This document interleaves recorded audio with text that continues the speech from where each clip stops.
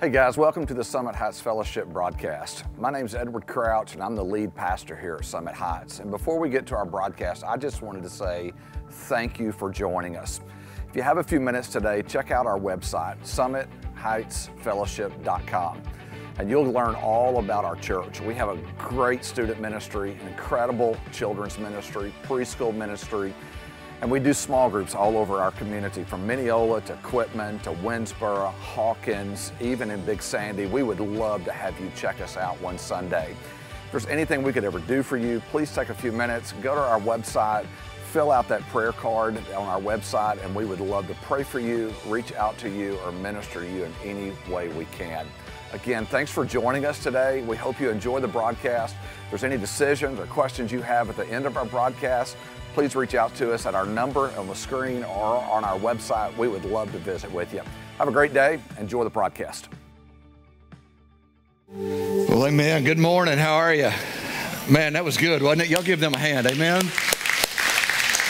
Hey, I want to echo what Jake said. Uh, you can uh, sign up for any of those serve opportunities during the week. I know some of you have different uh, job schedules and that kind of stuff. So, um, anytime during the week you want to come up and uh, put in a couple of hours, we would love to do that. There's a thousand little decisions uh, that take place every week to make all this happen. And so, uh, we thank you. Thank you for serving. Thank you for being here. Well, we're in this new series. And so, here's what I want to do I want to do a little research this morning, okay? So, I, am going to ask you some questions and kind of want to see where you fall on this. So, uh, if you would, just indicate by raising your hand how many of you guys love ice cream?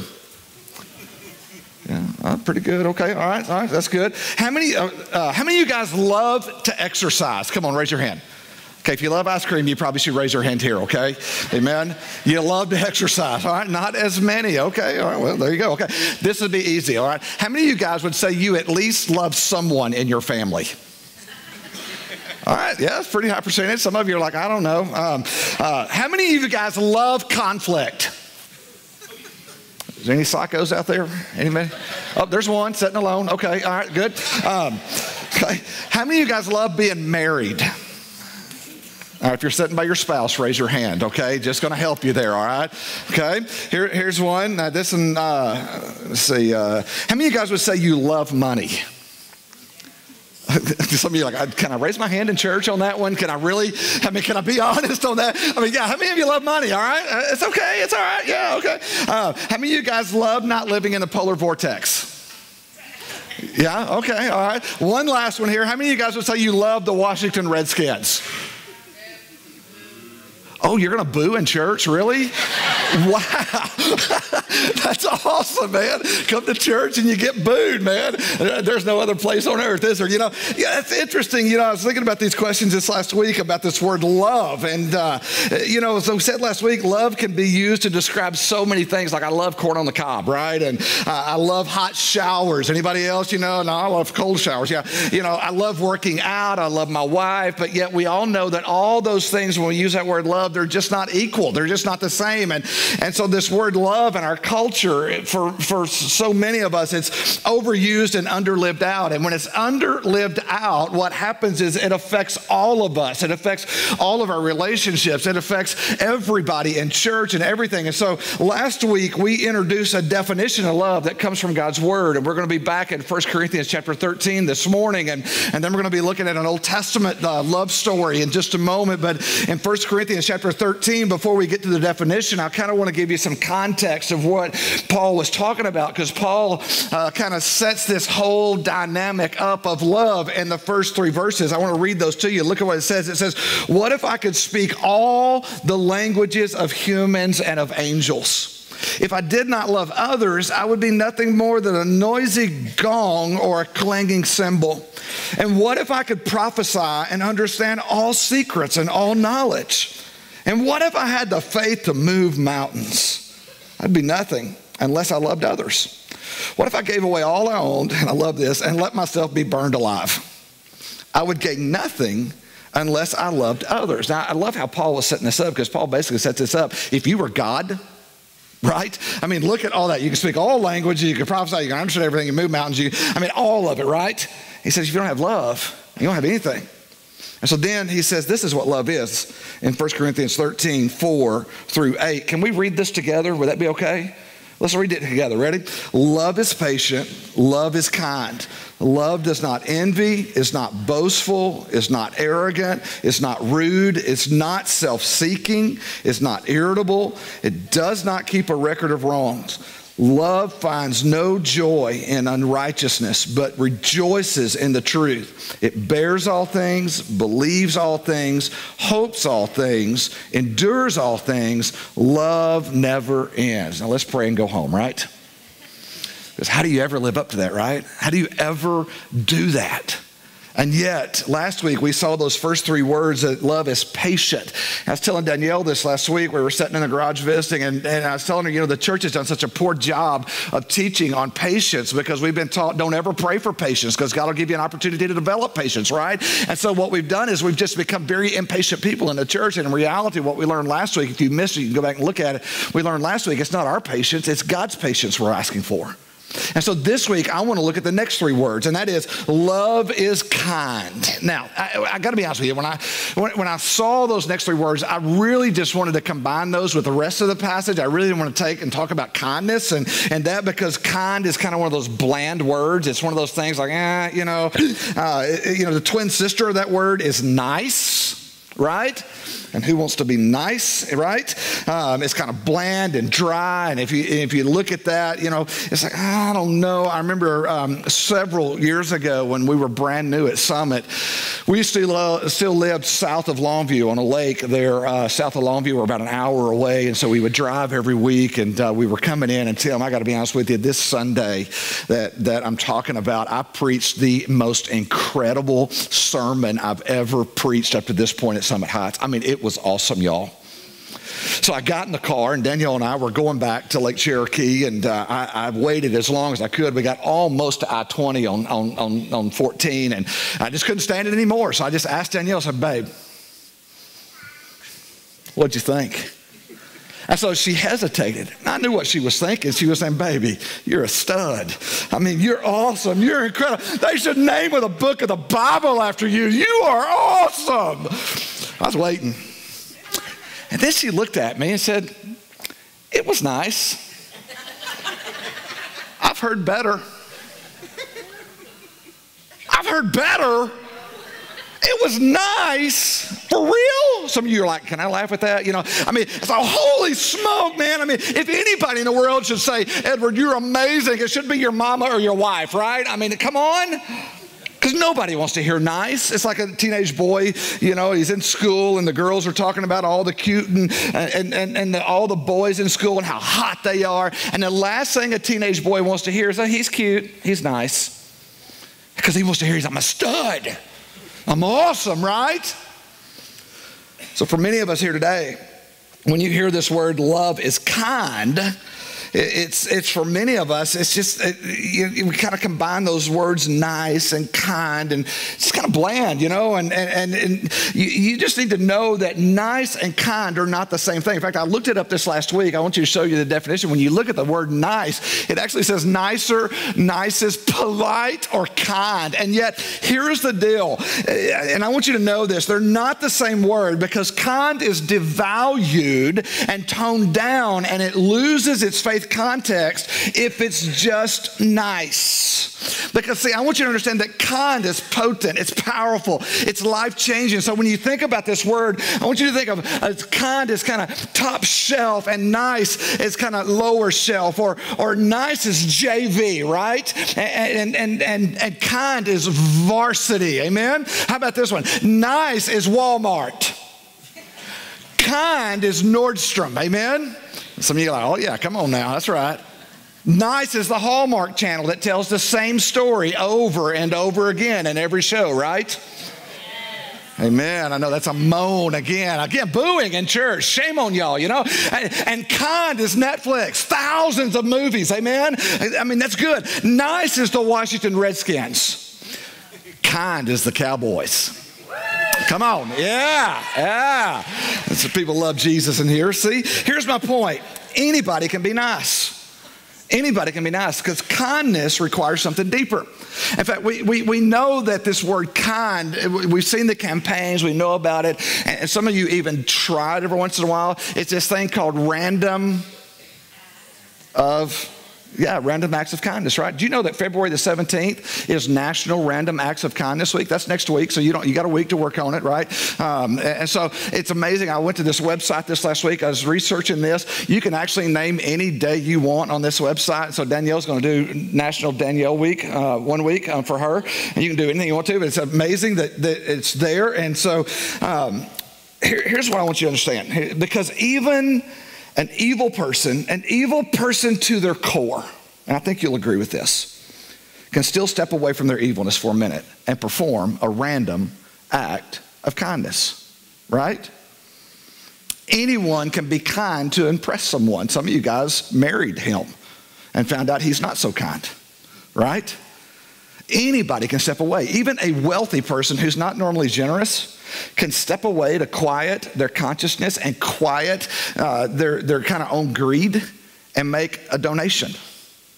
Even a narcissistic, self absorbed person can step back and perform a random act of kindness. So here's what I want you to hear this morning. That, that when, when Paul talks about love is kind, he's talking about something that's powerful. He's not talking about something that you can just randomly do. He's talking about something that is developed within and permeates every soul and every cell and every membrane that oozes from you and overflows from your body in an intentional way that enhances the lives of others. You see, this is the kindness we're talking about. In fact, I want you to see it on the screen. We'll say it this way uh, Kind actions can hide an unkind heart, but a kind heart intentionally seeks to benefit others. You see, just like last week, we were talking about patience and circumstances versus patience and relations. This week, we're talking about kindness being intentional towards someone, that it's a relational thing. So, kind actions can, can hide an unkind heart. But a kind heart intentionally seeks to benefit others. Does that make sense? Okay, that wasn't rhetorical. Does that make sense? Yeah, okay. So, so th- this morning, what I want to do is I want to look at a couple in the Old Testament. And, and it's a book that you may not be familiar with. Some of you may, may know what it is. It's in the book of Ruth. And, and so if you have your Bibles, you can turn there. We're going to have this, uh, uh, uh, the, the verses up on the screen. But here's what I want to do this morning. The book of Ruth, you may not be familiar with. It's only 88 verses, it's only four chapters. But I've got this new whiteboard that I want to uh, draw out the book of Ruth for you. And y'all know I love to draw. And so they finally brought me a whiteboard so I don't have to to drag up that little bitty one up here anymore. So I, I want to draw this out for you this morning so that you'll know the book of Ruth and you'll be able to go home, and be able to talk about the book of Ruth. But it's interesting because we have the book of Ruth and um, want to. Uh, I've got notes, okay? So just so you know, because there's some big names in here and they're hard to say and they're even harder to spell. Amen? So don't judge me, all right? because I don't have spell check on this board. I only have your laughter, all right? So don't don't judge me on that. So so what we have is the book of Ruth starts with Naomi, and Naomi was married. Um, golly. I, um, um, shut up. Um, Ella, gosh, man, I've been practicing this for weeks. Um, Elamaic, Elamaic, Elamaic, Elamaic. I just did it. Okay, Elamaic. Okay, I may not get it right again. Okay, so you ever read the Bible? Because I know a couple weeks ago I got in trouble up here because I got to that one word I didn't know. And so when I read the Bible by myself, a lot of times I'll come across a big word and I go, and so Naomi was married to Big Name and they lived in Big Name. And, and so, because I'm just kind of getting to that point, you know, and so don't, don't judge me anyway. Um, so, so what you have is you have Naomi and you have uh, Elamaic. We're going to call him Eli from this point forward because I don't want to mess that up. They live in the city city of Bethlehem. Y'all know who else is from Bethlehem? Who? Jesus, right. Dallas Cowboy fans. Amen. Okay, so um, now Naomi and Eli had two sons. They had son number one and they had son number two. Okay, that looks like seven. But anyway, um, help out on that. Son number one, son number two, and so they lived in Bethlehem, and here's what happened in the book uh, a famine hit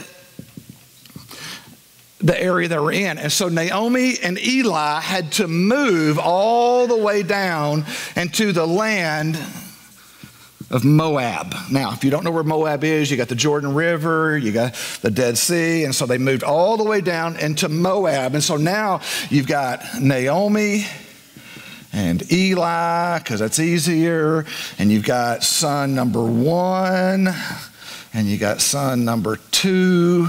And here they are. They're living down in Moab in a foreign country. They're way off in that.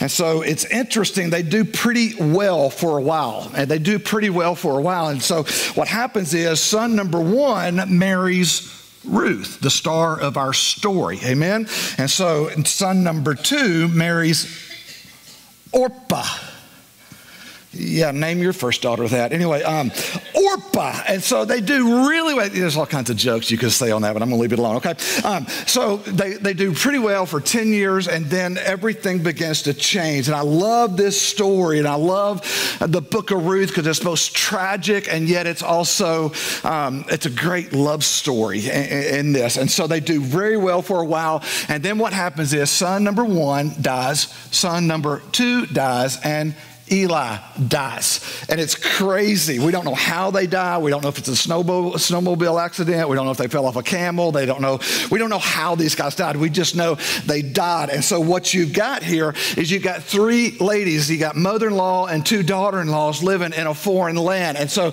Naomi calls the girls together and says, ladies, things have changed. And so here's what you need to do. You need to go home you need to be with your family. You need to go home and let your family take care of you. And so Orpah says, and I don't blame her. She goes, There's a lot of death around here. And so I think I'm going to take you up on that offer. And so she goes back to her homeland. She moves around a couple letters in her name. She then became Oprah, started a TV program, and I think she's done pretty well. Amen. So uh, she left. She's like, I'm done, right? And so she went away and she went back. And Ruth says this, and this is one of the greatest passages in Ruth. Look at it Ruth 1 16 through 17. It says, But Ruth replied, Don't ask me to leave you or turn back.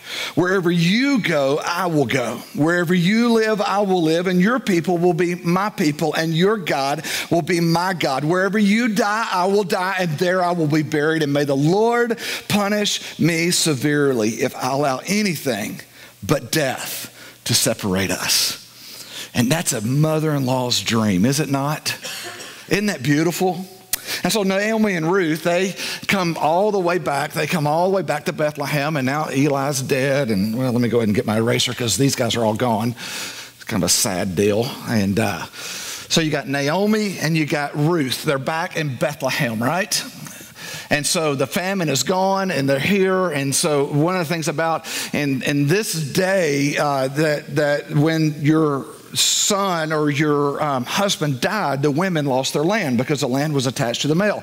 So when they moved back to Bethlehem, they didn't have any land. And so Naomi went back to her family, and there was this field there in the land, and there was a guy named Boaz. There's another great name. Boaz, who owned that field. Now, he and Naomi were family. And so Naomi went to Boaz and asked Boaz, said, Hey, would it be okay if Ruth grazed your field? I love love that statement. If, you, if she grazed your field just to gather some food for us because we don't have any land. And so Boaz, we don't know if he was cute or nice. We don't know anything about him. We know he was kind, though. And, and so Boaz, in his kindness, he says yes. And so Ruth begins to graze the field. Now, you got to understand that what he said yes to was risky.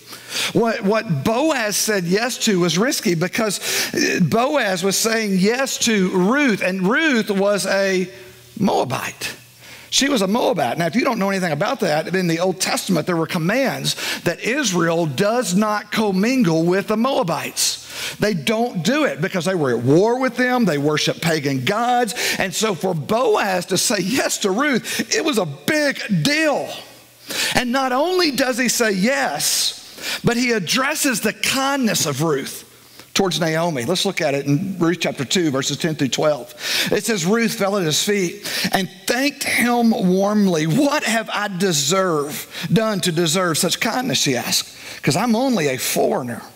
Yes, I know, Boaz replied, but I also know about everything you have done for your mother in law since the death of your husband. I have heard how you left your father and your mother and your own land to live here among complete strangers. Verse 12 says, May the Lord, the God of Israel, under whose wings you've come to take refuge, reward you fully for what you have done. Here's what I love about this. Here's what I love about this kindness begets kindness.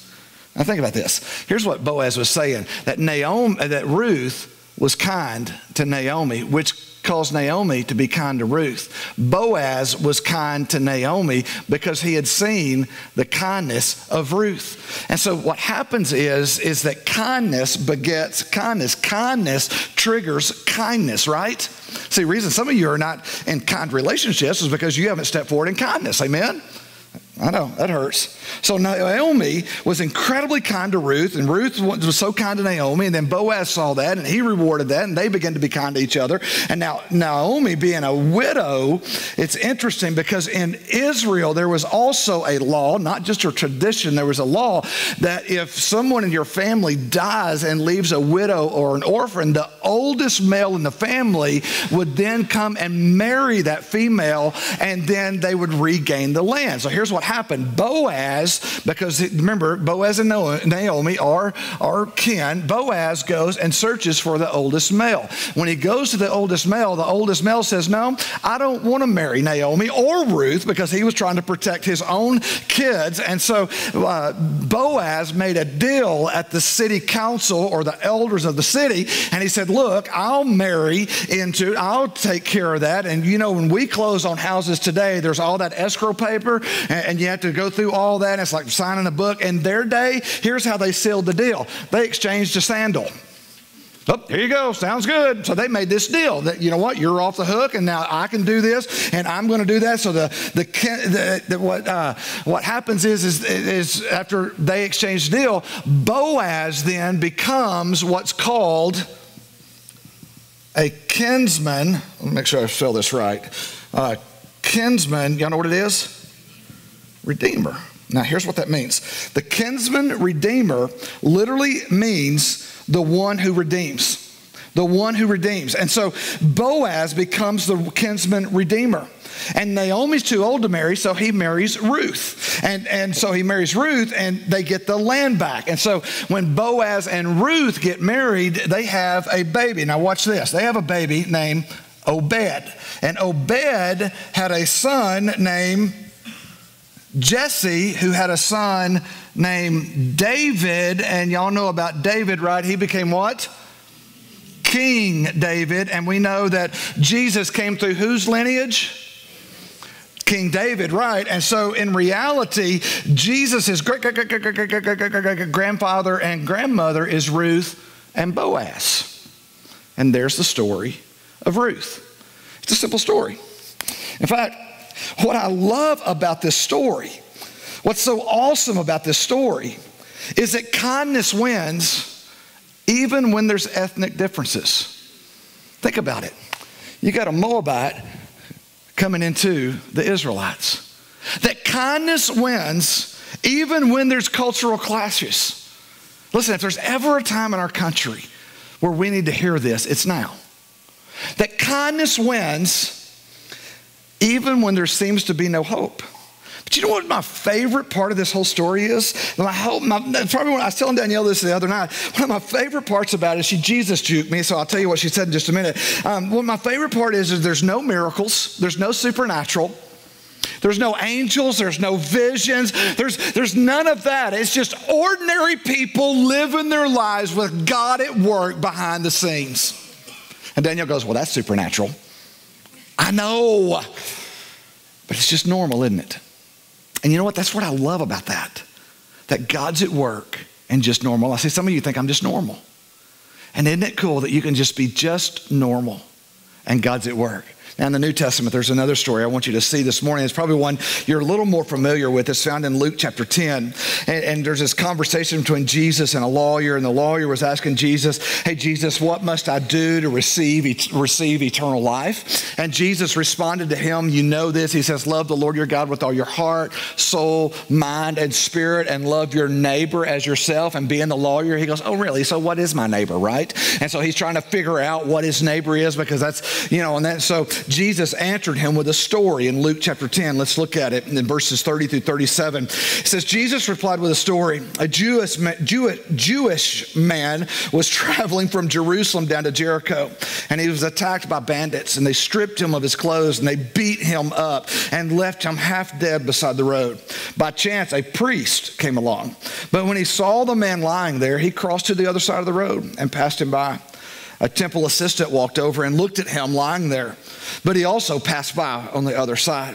Then a despised Samaritan came along. And when he saw the man, he felt compassion for him. Going over to him, the Samaritan soothed his wounds with olive oil and wine and bandaged them. Then he put the man on his own donkey and took him to an inn where he took care of him. The next day, he handed the innkeeper two silver coins, telling him, Take care of this man. If his bill runs higher than this, I'll pay you the next time I'm here. Now, Jesus said, Which of these three would you say was a neighbor to the man who was attacked by the bandits?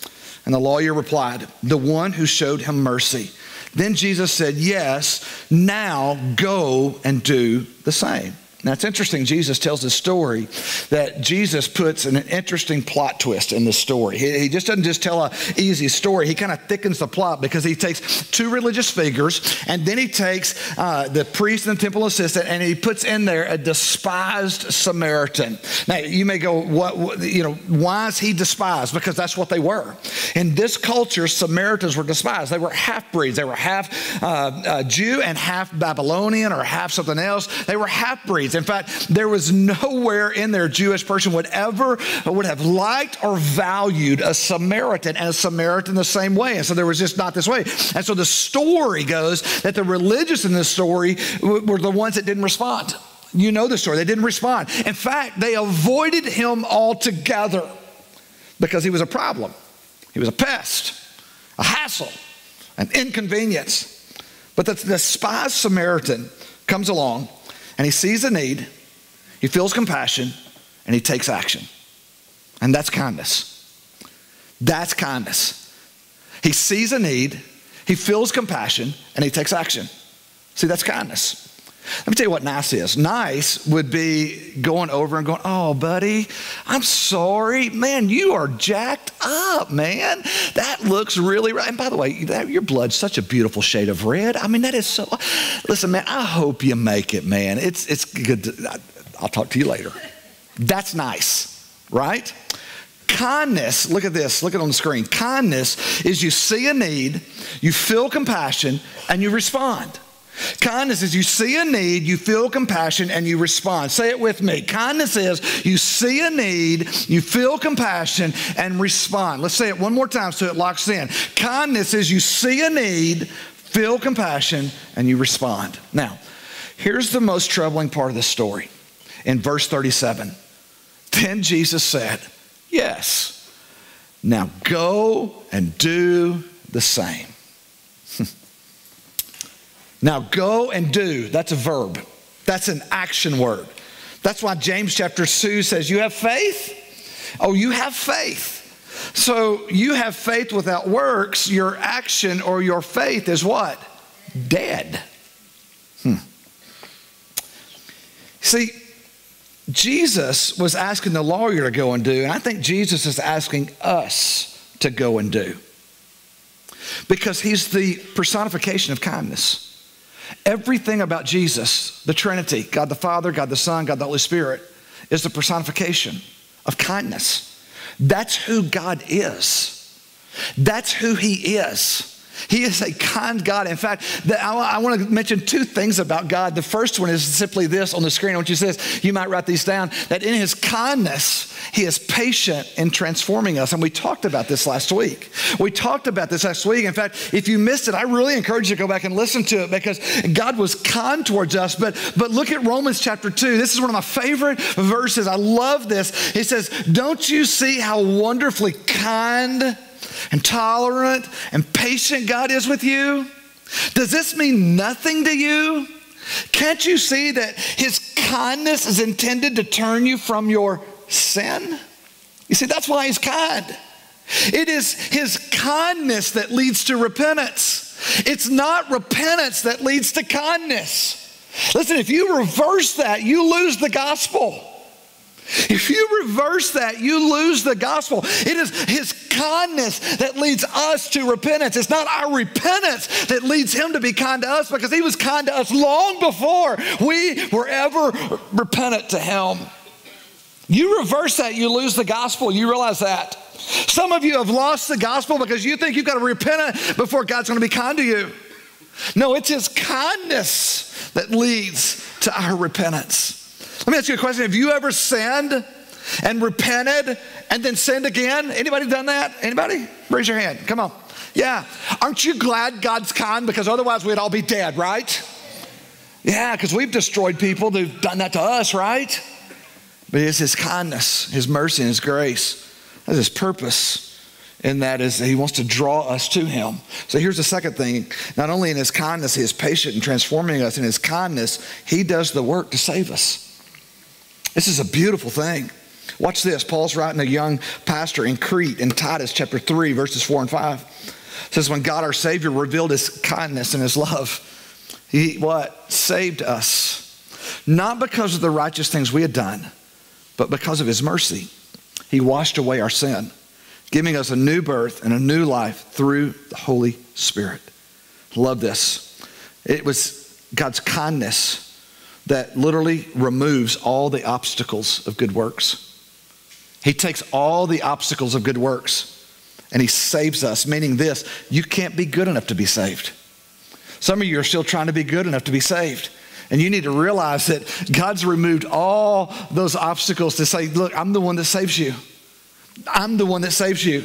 You can't do enough good works to save yourself because it's not your works or your deeds, it is His. Jesus does the saving. Jesus does the saving. In fact, Jesus becomes what? Our kinsman redeemer. And Jesus didn't exchange a sandal, He exchanged His life. He exchanged his life so we now are brought into the family bloodline. It is in his bloodline to be the kinsman redeemer that he exchanged his life. He exchanged his life for us. And for those of us, we've been saved. We put our faith in Jesus Christ, our Savior. The Lord has become our kinsman redeemer because he modeled that towards us. It was his kindness that led to our repentance. And then he says, Now, go and do likewise. And you go do it. Now, I would never want to set up here and say that being kind is easy, right? I'm just going to say that love is kind is not easy. This, this may surprise you, but I, I'm going to say this kindness does not come naturally for me, okay? Kindness doesn't come naturally. You know what comes naturally for me? Me. I'm, I'm, I'm telling you, I, selfishness comes natural for me. I can be the most selfish person in the world. In fact, I am selfish even in my dreams. I can sometimes fake that I'm asleep so Danielle doesn't ask me to go do something, right? And some of you are laughing because you do the same thing. Yes, I see hands back there. Yes, you need to get saved, okay? So, I mean, yeah, you know that, right? I'm selfish. Listen, no one thinks of Edward Crouch more than me. Thank you, babe. Yeah, don't look at me that way. It doesn't come natural, but here's what I know, okay? And for you guys that are checking out Jesus and you're just not sure about him, maybe you're watching on TV or whatnot, here's the thing. 35 years ago, I invited Jesus Christ in to be my Lord and Savior. I surrendered to him. And here's what he did he moved in and he began a renovation project on me. And for the last 35 years, he's been renovating my life. He has been renovating my life. And one of the things that happens when you surrender your life to Jesus Christ, and if you don't know what it means to follow Jesus, you need to hear this. Here's what will happen. When Jesus begins to renovate your life, then what begins to come out of you is what's called spiritual fruit. It's spiritual fruit. So here's what's happened to me on this because I'm teaching on love this morning. We're talking about relationships, we're talking about kindness, we're talking about patience. He's teaching me to love. I'm not as selfish as I used to be, but I'm still selfish. Amen? I'm still there. I'm, I'm more compassionate than I used to be, way more than I used to be. I'm more gentle. I'm more self controlled. I'm more peaceful than I used to be. I, I, now, listen, I still worry and I still get anxious. Man, I, I got to tell you, I woke up at four o'clock this morning. I was ready to preach this. I was ready to go. I was, I, you know, I, I was ready. I still have some things to work on. But through his kindness, I am being sanctified. I am being made holy. And listen, he's not done with me yet. I have a long way to go, not as far as some of you, amen? Okay, I know that wasn't kind. See, I need work, amen? I, I, okay? But see, that's spiritual fruit. Look, look at this. Look at this statement. This is so good. We reveal externally what is being renewed internally. We reveal externally what is being renewed internally. We reveal externally what is being renewed internally. The theological word for that is sanctification. In other words, the more Jesus is involved in my life, the more I become like Jesus. And listen, can, can I just say this? If you're not becoming more like Jesus, then what you're being renewed internally may not have anything to do with holiness. If if you continue to, to be a disconnect between what you say you believe and how you behave, then you need to look internally to figure out what's going on. Because we reveal externally what is being renewed internally. You go, Edward, how do I know that? Well, let me, let me put three things on the, on the screen. I want to show you this because this is how you can kind of gauge this, all right? Number one, when love is kind, it's others focused, it's for the benefit of the other. You want to test how you're doing? You want to check what's going on? You want to check what's uh, inside? Who do you think about the most? It's always others focused. And here's the second thing when love is kind, it's compassion oriented. And by the way, this has Jesus all over it because Jesus would go around in town to town, city to city, and he would see a need. He would have compassion over them, and then it was followed by actions. It was followed by actions every time. And it's messy. It's messy. I mean, think about Ruth and Boaz and Naomi, and that, that it kind of got messy into the risk of taking a Moabite and then bringing her into the family. Think of the Samaritan. It's messy. You see, when love is kind, it's others focused, but when love is kind, it's compassion oriented. And that's why some of us don't get involved, because usually if you get involved, it involves a mess, doesn't it? See, here's a third thing if you want to test your kindness when love is kind, it's often surprising. I mean, think about the Samaritan.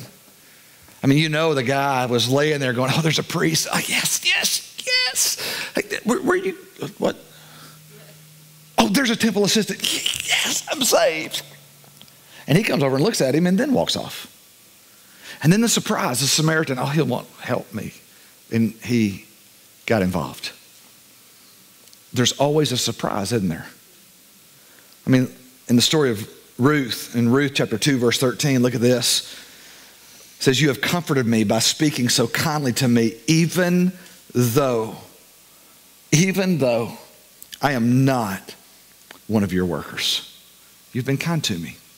She didn't expect that. She was a Moabite. Why should she have expected it?